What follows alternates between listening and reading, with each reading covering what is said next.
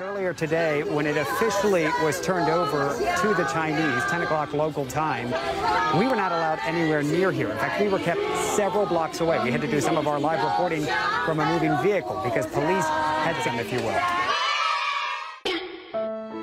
Yeah, quite a, a moment there with a, a chorus of people singing.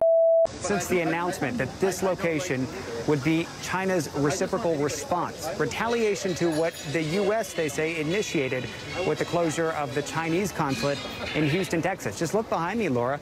You can see all the signage has now been covered up.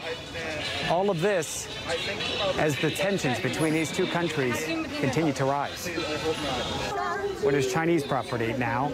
And it was interesting, Boris, earlier today when it officially was turned over to the Chinese, 10 o'clock local time, we were not allowed anywhere near here. In fact, we were kept several blocks away. We had to do some of our live reporting from a moving vehicle because police had security so tight. They wanted everything to go smoothly. A lot of this is representing China's image on the national stage. So right now, though, people are allowed to come back into place here, and you can hear folks singing around me. That's because the tourist site has been reopened to them, if you will. Yeah, quite a, a moment there with a, a chorus of people singing.